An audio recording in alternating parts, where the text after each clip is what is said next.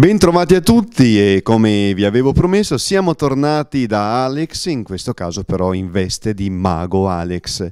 Perché Mago Alex? Ce lo spiega direttamente lui.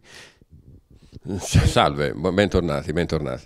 Mago Alex perché io sono un prestigiatore, nasco come prestigiatore e fin da tenera età di otto anni ho avuto la passione, mi è entrata questa passione, questo virus che mi ha contaminato e mi ha fatto conoscere questo splendido mondo che è il mondo della prestidigitazione, del, del mistero e di tutto ciò che riguarda un po' la magia.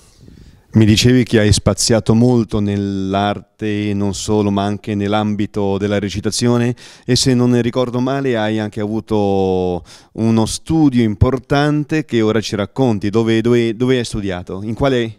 Come, come, scuola eh, non ho frequentato scuole magiche, anche perché in Italia esistono più che altro dei club magici, come il Club Magico Italiano, e poi ci sono in regioni d'Italia, per esempio in Toscana ci sono sempre gruppi che fanno poi capo al, al club magico italiano, ma in realtà scuole vere e proprie ora sono uscite un po' delle scuole, no? ma erano quasi tutti autodidatti, quindi erano tutte persone che con la passione della, della magia si avvicinavano a altri che facevano la professione del mago, come ho avuto io poi dall'altro, mi sono avvicinato a questo mondo osservando e rubando con gli occhi tutto ciò che avveniva magari da, vedevo da altri prestigiatori, quindi cercavo di carpire i giochi, anche perché prima c'era una forma di, di segreto quasi impossibile da poter spiegare, quindi anche il professionista che aveva davanti l'allievo lo teneva sulle spine non spiegava mai. E poi se riusciva a individuare delle caratteristiche di talento, e quindi avrebbe, lo, lo, lo, portava piano piano, passo dopo passo, a imparare le, le regole fondamentali che non era tanto il gioco, ma di come dovrebbe essere presentato un gioco, di come doveva essere gestito davanti a un pubblico, e questa è la magia. Quello che purtroppo oggi, per i giovani soprattutto, si vede un po' eh, abbassata questo, questo, livello, perché tutti vanno a, a, a, seguire su internet video di altri prestigiatori, tendono a copiare ma non a personalizzare l'arte che dovrebbe essere invece la fonte di portare avanti questa cosa meravigliosa. Tra i tuoi spettacoli di punta numerosissimi, una, una, carriera importante, quale episodio e quale spettacolo puoi annoverare di importante? Ma io spettacoli ne ho fatti tanti, facevo 180 serate l'anno, quindi non è che, però il mio non era uno spettacolo teatrale, non era uno spettacolo, era un, mio era uno spettacolo di close-up. Cosa vuol dire close-up? Il mio era una forma di, eh, di magia ravvicinata okay, in primo piano. Cioè io andavo ai tavoli, spesso nelle convention o ristoranti o alberghi o feste private, dove spesso veniva chiamato il prestigiatore, o meglio, prima succedevano molto più, era molto facile lavorare, avere contratti, ora un po' meno con le crisi che ci sono.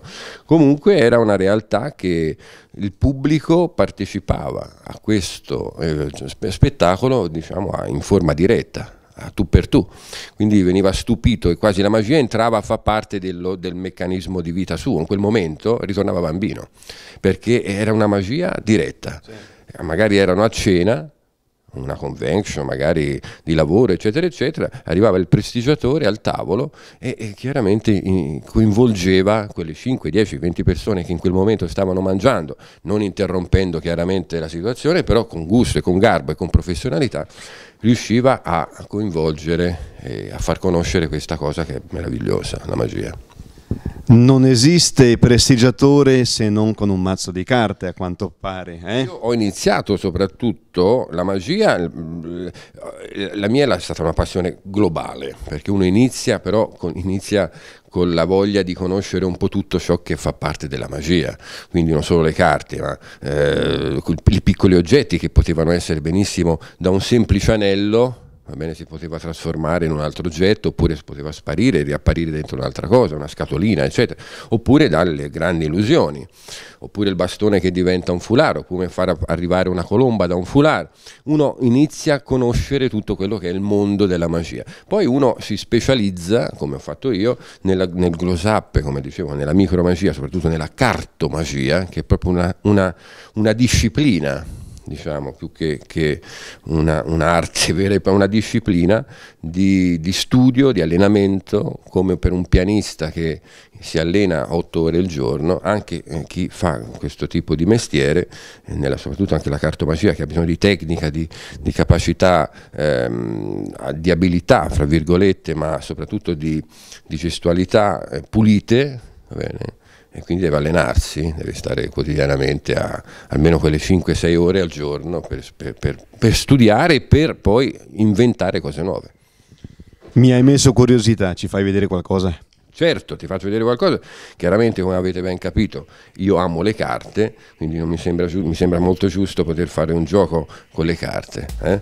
Io ho mm, un mazzo di carte, no, si vede un mazzo di carte di 52 carte tutte diverse, cuori, quadri, fiori, picche, ok? E chiedo la partecipazione, so, anche della, della ragazza che qua può venire qui, eh, coinvolgo chiaramente. Salve. Eh? Salve Vanessa. No, no, la cosa è sempre, tu conosci le carte, posso darti il tuo? Sì, sì, allora, eh, quello che chiedo normalmente a, al pubblico è quello di far chiaramente capire che il mazzo di carte non è un mazzo di carte truccato, come, vuoi mescolare il mazzo di carte, controllarlo che è normale, non ci sono doppie carte oppure le carte sono normalissime, anche perché il gioco che voglio fare è una cosa molto rapida, semplice, a tu per tu, dove veramente il mago non ha, non ha possibilità di poter fare cose. Ok, hai mescolato accuratamente? Perfetto. Ok, tutto regolare. Poi normalmente i maghi cosa fanno? Tu hai mescolato le carte, non hanno fanno scegliere liberamente una carta. eh? Tu hai, come ti chiami, scusami? Vanessa. Vanessa, tu hai mai scelto una carta in vita tua? No. Allora, prendi una carta che vuoi, quella che vuoi, ne prendi una, la guardi, non me la far vedere, mi raccomando, la fai vedere in camera e non guardo, guardo lui, eh? In Modo. Perfetto, ok? Hai fatto? Ok, poi ti chiedo un'altra cosa importante, visto che tu hai scelto una carta liberamente nel mazzo di carte, di prenderla e inserirla, non voglio toccare le carte, non voglio... inserire la carta in un punto dove vuoi tu. In modo che uno può pensare, dice Alex è furbo, può aver visto dove ha messo la carta. No, io guardo se mescola bene le carte in modo che nessuno... Certo, eh, ok. No, so- eh, non troppo, perché no, no, me- mescola, mescola, mescola, mescola, eh. Hai mescolato perfetto, ok? Hai mescolato, non ci sono possibilità di so- ecco, Io normalmente faccio questa domanda, no? Tu hai mescolato, hai messo la carta all'interno del mazzo di carte, hai mescolato accuratamente in un mazzo di 52 carte. La domanda che ti faccio è semplice, dove vuoi che vada la carta? Non voglio toccare le carte, sopra, a metà o in fondo? Sono scioccata. In fondo. In fondo. Sei sicura? Sì. Guarda, non faccio cose strane. Si è visto? No, tu hai visto qualcosa? No. E la magia è come se fosse già attraversata la nostra parte e tac, è arrivata lì. Dimmi che carta avevi scelto. Due di qua. Gira tutto il mazzo. Beh, Non ci posso credere. No, incredibile ragazzi.